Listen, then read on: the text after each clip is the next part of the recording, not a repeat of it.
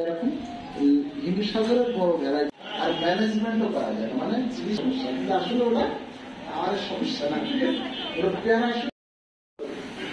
লিচু ঝরে যায়। ড্রাই শুকনো হয়ে গেলে লিচু ঝরে যায়। এর উপরে কোনো সাইন্স নেই ক্লিয়ার কি বললাম?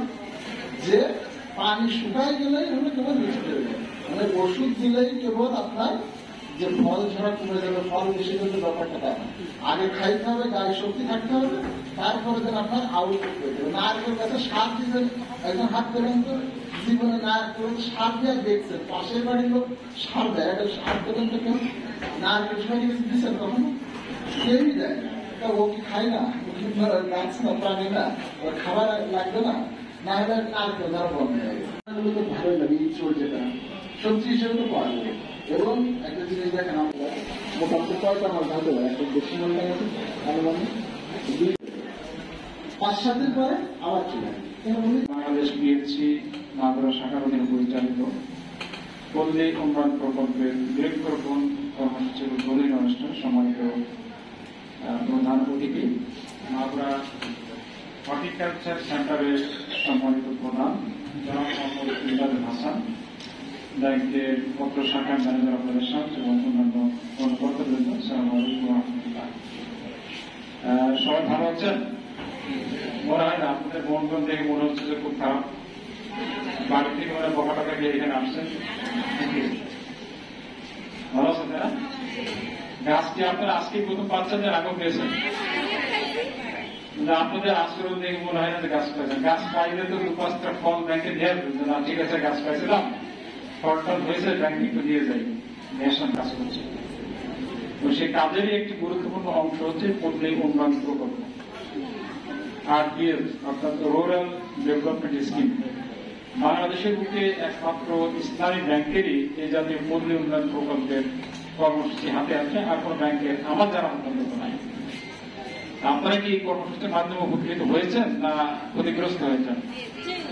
উপকৃত হয়েছেন না? তো উপকৃত হয়েছেন, কিন্তু আমরা কিছু কিছু ক্ষেত্রে ব্যতিক্রম দেখি। যে অনেকে আসেন ব্যাংকে থেকে বিধি উঠলেন কিন্তু আর সহজে পরিশোধ করতে চান না।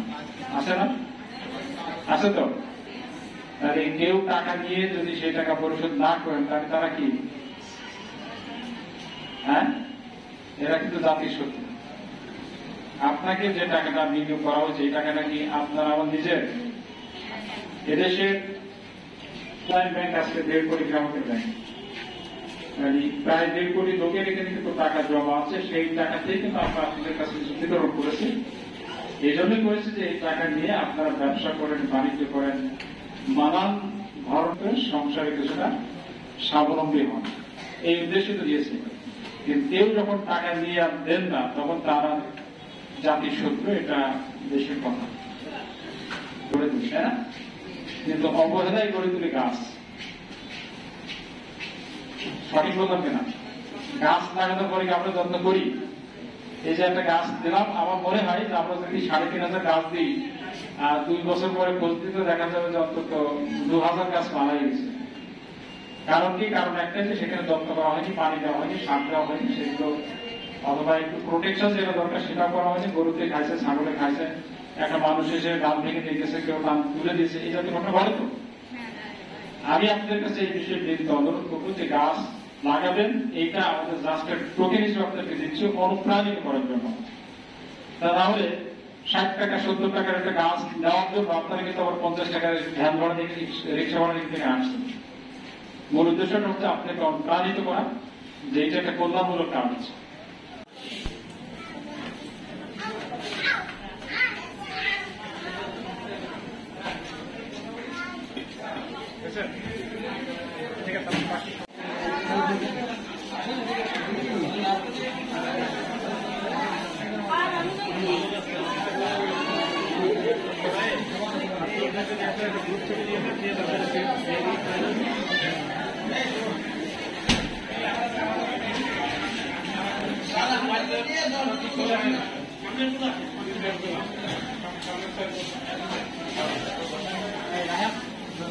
Apa? Apa?